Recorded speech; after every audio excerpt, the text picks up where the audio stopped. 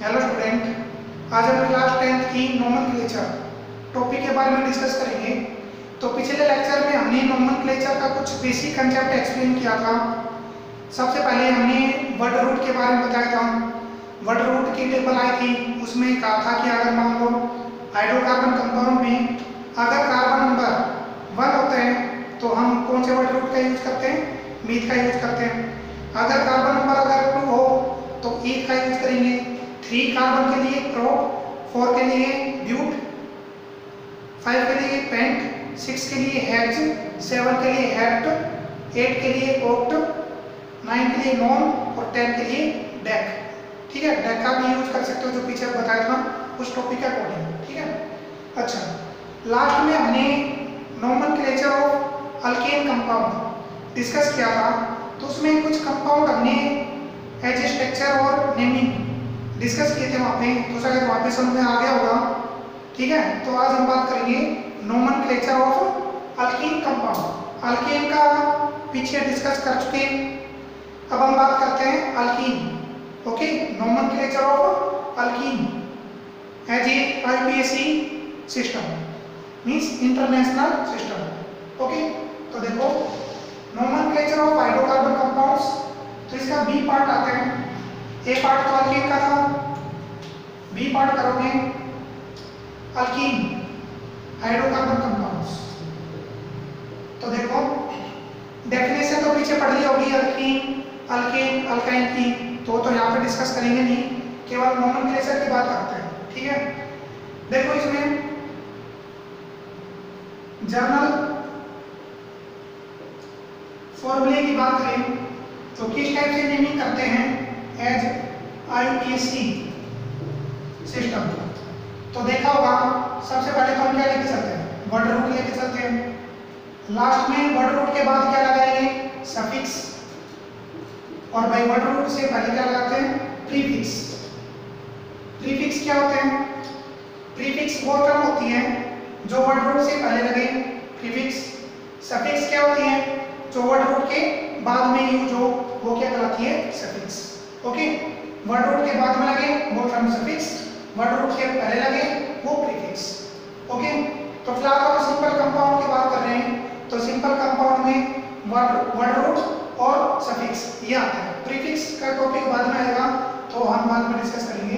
तो फ़िलहाल तो वर्ड रूट प्लस में सफिक्स है. अल्कीन की बात करें तो अल्कीन में देखो अल्कीन में जो सफिक्स यूज़ करेंगे, वो क्या यूज़ करेंगे? इन याद रखना. For alkene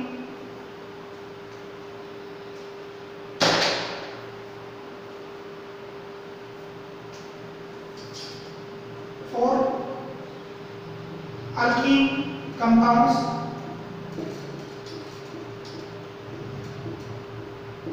In word used as suffix. ठीक है? E N E E word का यूज़ यूज़ करोगे किस फॉर्म में? सफिक्स की फॉर्म में। मतलब वर्ड रूट के बाद में। एग्जांपल ले फॉर एग्जांपल अच्छा सबसे सिंपलेस्ट टाइप का अल्कीन कौन सा है? पीछे पड़ा होगा सबसे सिंपलेस्ट टाइप का अल्कीन क्या है? पहले तो जर्नल फॉर्मूला बताओ अल्कीन का। जर्नल फॉर्मूला क्या होता है?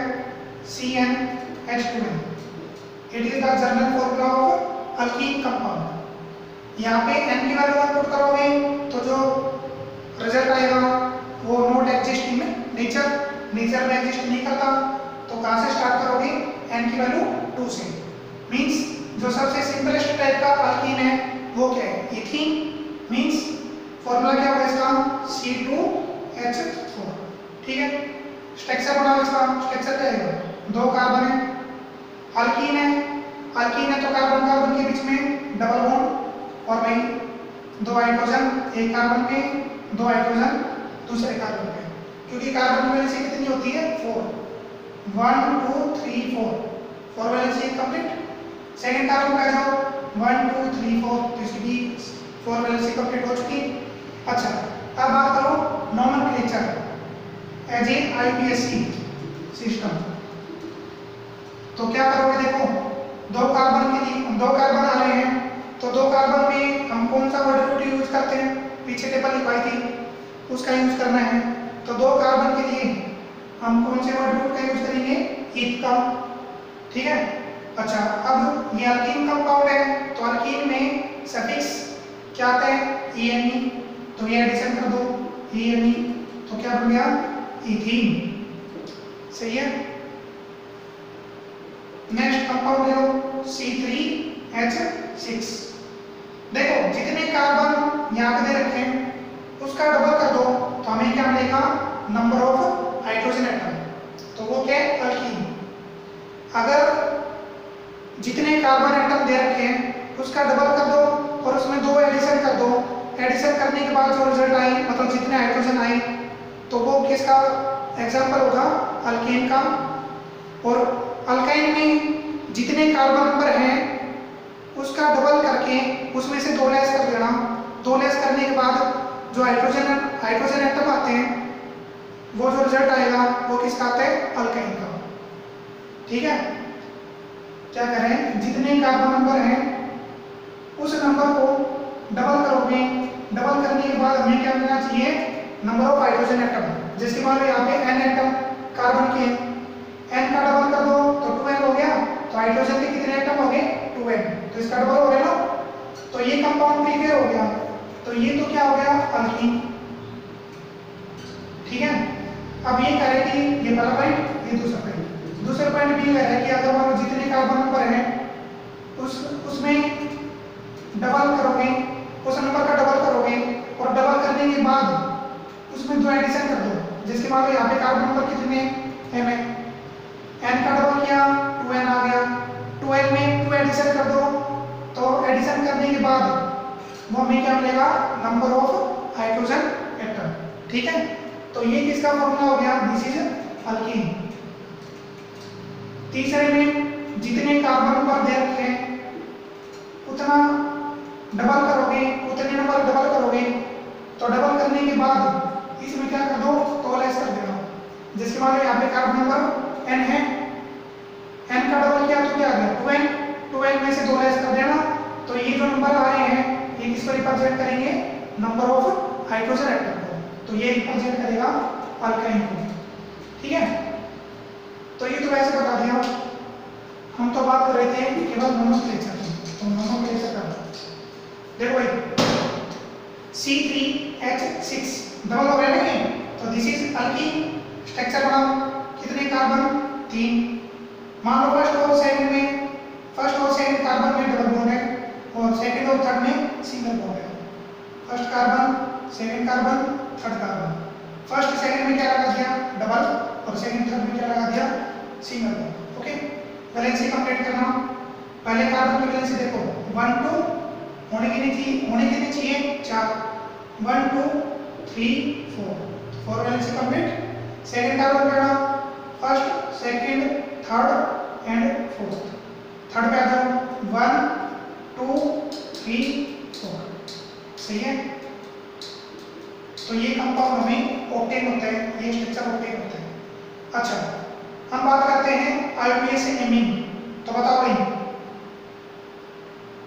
कितने कार्बन है टोटल तीन। तो तीन के लिए कौन से वर्ड रूट का यूज़ करोगे? प्रोप का। दिस इज़ प्रोप सही है? अच्छा।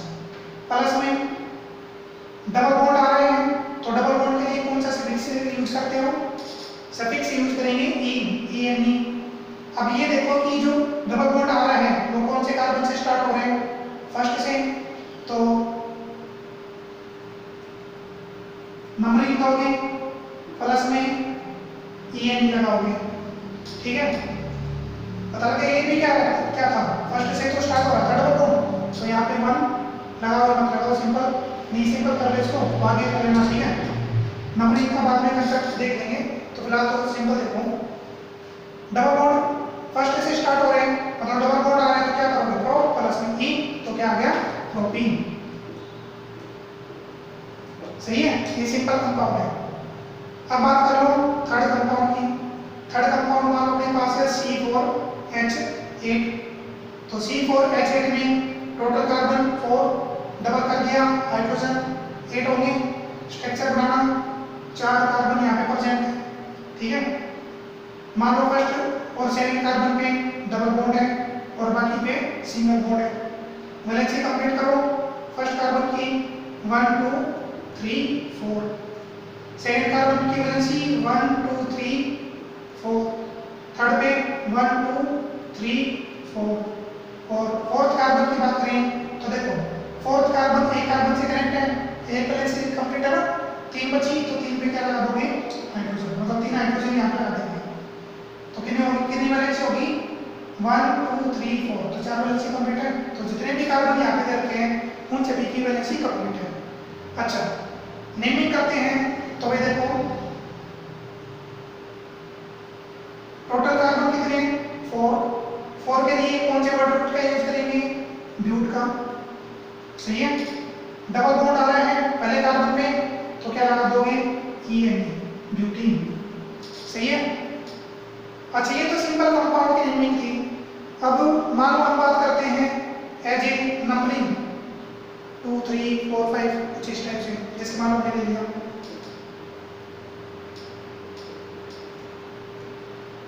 ठीक है? चार कार्बन प्रेजेंट है। पहले, दूसरे, तीसरे, चौथे। नंबरिंग कर दी हमने। पहले, दूसरे पे तो सिंगल बॉन्ड दूसरे, तीसरे में डबल बॉन्ड तीसरे, चौथे में सिंगल बॉन्ड ये प्रेजेंट है। ठीक है? वैलेंसी कंप्लीट करना। One two three four one two three four one two three four one two three four सही है? नेमिंग करो तो देखो भाई नेमिंग कैसे करेंगे। टोटल कार्बन कितने हैं? चार।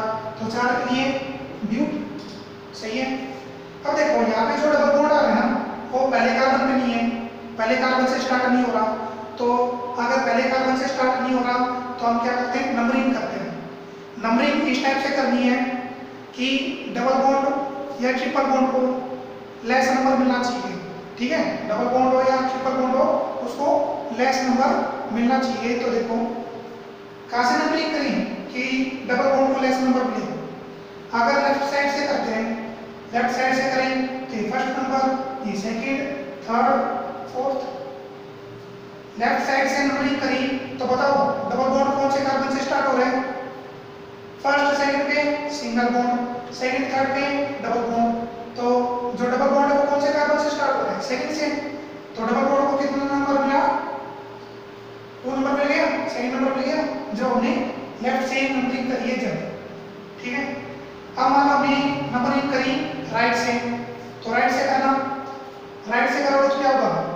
One first carbon second carbon third carbon fourth carbon अब राइट से नंबरिंग करी तो आप बताओ कि डबल बॉन्ड को कौन से मतलब डबल बॉन्ड को कौन सा नंबर मिलेगा? ठीक है, कौन से कार्बन से डबल बॉन्ड स्टार्ट हो रहे हैं, वो देखना है फ़िलहाल, जब राइट से करिए तो नंबर फ़र्स्ट और सेकंड कार्बन पे फ़र्स्ट और सेकंड कार्बन पे सिंगल बॉन्ड सेकंड थर्ड पे डबल बॉन्ड थर्ड फोर्थ पे सिंगल बॉन्ड लेफ़्ट से करो या राइट से करो? इस कंपाउंड में जो डबल बॉन्ड की नंबरिंग होगी, वो हमेशा क्या होती है? सेकंड यहाँ से किया तो सेकंड सेकंड कार्बन से डबल बॉन्ड स्टार्ट हो रहा था। यहाँ से करोगे, जब भी क्या सेकंड नंबर से क्या हो रहा है? डबल बॉन्ड स्टार्ट हो रहा है। जहाँ से स्टार्ट हो रहा है ना, वो कार्बन देख रहे हैं बस। तो स्टार्ट कहाँ से हो रहा है? डबल बॉन्ड से ओके तो चलो बताओ चार कार्बन के लिए ब्यूट अब डबल बॉन्ड कहाँ से स्टार्ट हो रहे हैं सेकंड कार्बन से तो यहाँ पे लिखो डैश करते हुए टू डैश डबल बॉन्ड है तो क्या करोगे यहाँ पे लगा दो ई एन तो क्या बन गया ब्यूट टू ई समझ में आ गया चलो और देखते हैं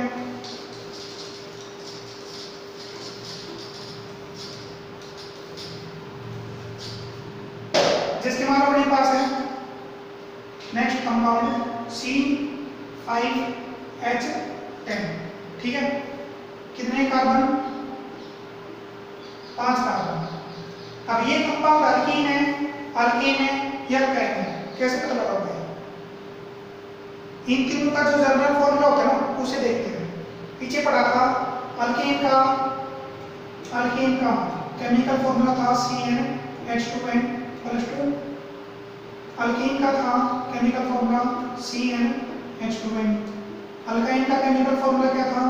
सी एन एच माइनस ठीक है? यहाँ पे कितने कार्बन है पाँच। एन की वैल्यू फाइव पुट करना।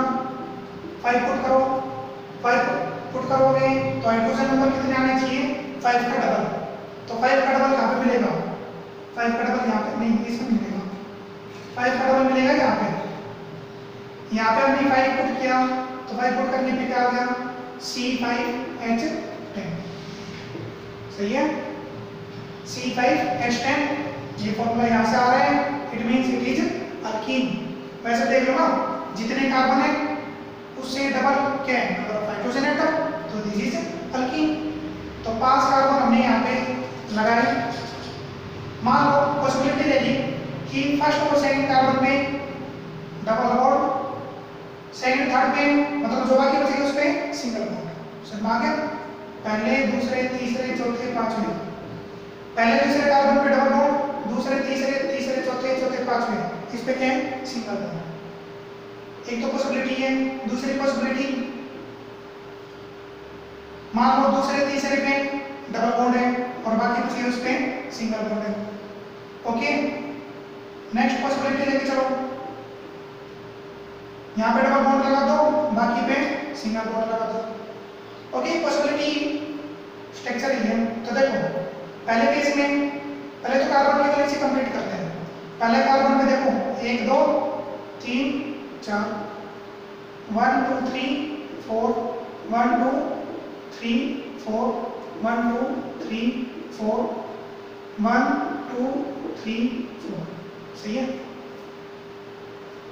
अच्छा अब हम बात करते हैं naming I P S C naming तो देखो आईपीएससी नेमिंग क्या होगी? टोटल कार्बन कितने हैं? फाइव तो फाइव के लिए कौन से वर्ड रूट वर्ड का वर्ड रूट का यूज़ करते हैं। वर्ड रूट यहाँ पे लेके चलते क्या? पेंट वर्ड रूट हो गया पेंट अब डबल बॉन्ड कौन से कार्बन से स्टार्ट हो रहे हैं? नंबरिंग करोगे नंबरिंग किस टाइप से करोगे? कि डबल बॉन्ड या ट्रिपल बॉन्ड जो भी है, उसको हमेशा लेस नंबर कम नंबर मिलना चाहिए। तो लेस नंबर कहाँ से मिलेगा? लेफ़्ट साइड से या राइट साइड से? जब लेफ़्ट से नंबरिंग करोगे जब तो क्या मिलेगा? लेस नंबर ठीक है? तो यहाँ से नंबरिंग करी लेफ़्ट से करी first second third fourth fifth तो फ़र्स्ट से क्या हो रहा है? डबल बॉन्ड स्टार्ट हो रहे हैं। तो डबल बॉन्ड को क्या मिल गया? फ़र्स्ट नंबर तो pent double bond first carbon में। तो यहाँ पर लगा दो वन डबल बॉन्ड है तो सफिक्स क्या लगाओगे? ई एन ई मतलब ये बन गया पेंटीन सुनो, देखो। अगर मान लो डबल बॉन्ड या ट्रिपल बॉन्ड मतलब कोई भी फंक्शनल ग्रुप पहले कार्बन पे आते हैं तो उस केस में वन नंबर को रिप्रेजेंट करो या मत करो, ठीक है? केवल फ़र्स्ट कार्बन की बात है। फ़र्स्ट पे कोई ग्रुप अगर अटैच है तो वहाँ पे हम फ़र्स्ट नंबर को रिप्रेजेंट कर भी सकते हैं, नहीं भी कर सकते तो यहाँ पे रिप्रेजेंट करा वन तो ये भी सही है वन ई इसको विदाउट नंबरिंग करना चाहो तो क्या बन गया? पेंटिंग ओनली फ़र्स्ट कार्बन की बात है सेकंड थर्ड पे आए तो वहाँ पे हमेशा नंबरिंग करोगे ठीक है? आगे में सेकंड पॉसिबिलिटी का तो देखो वैलेंसी कंप्लीट करना। One two three four one two three four one two three four one two three four one two three सही? टोटल कार्बन कितने हैं? पाँच। तो पाँच के लिए क्या लगाओगे पेंट रूट वर्ड रूट हो गया पेंट अब भाई नंबरिंग करनी है। नंबरिंग कहाँ से करोगे? कि डबल बॉन्ड को हमेशा लेस नंबर मिले तो लेस नंबर कहाँ से आएगा? जब नंबरिंग लेफ़्ट से करें जब होगा या राइट से करें जब होगा? लेफ़्ट से अगर नंबरिंग करोगे तो डबल बॉन्ड को सेकंड नंबर मिलेगा। यहाँ से नंबरिंग करना।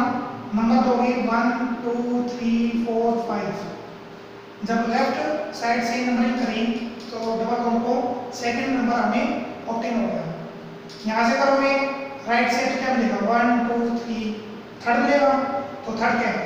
लेस तो ये लार्ज है तो इसको हटा दो। तो लेफ़्ट से जब नंबरिंग करी तो कार्बन को मतलब डबल बॉन्ड को सेकंड नंबर मिलेगा, ठीक है? तो पेंट पाँच कार्बन के लिए पेंट अच्छा। डबल बॉन्ड कहाँ से स्टार्ट हो रहे हैं? सेकंड से सेकंड कार्बन से। तो टू लगा दिया। डबल बॉन्ड है तो कौन सा सफिक्स यूज़ करोगे? ई तो क्या बन गया? पेन टू ई समझ आ गया? कर लोगे? इसी तरह ये देखो। Possibility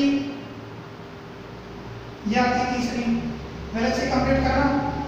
One two three four one two three four one two three four one two three four one two three four one two three four सही है? अच्छा नंबर कहाँ से दोगे? लेफ़्ट साइड से या राइट साइड से?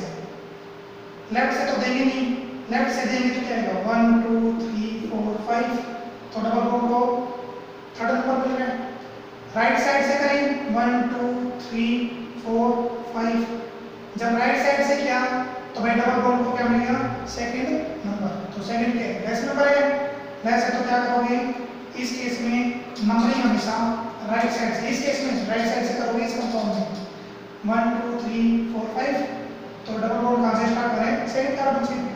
तो भाई क्या नाम होगा इस कंपाउंड का?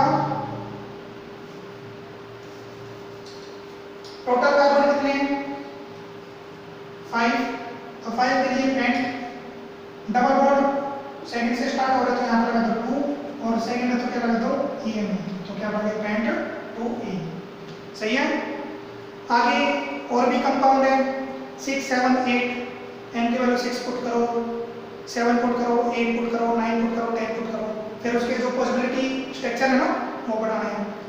ठीक है तो आज का काम nomenclature of hydro nomenclature of alkene compound ठीक है तो वन से लेके वन से लेते हुए टेन तक कंप्लीट करना है।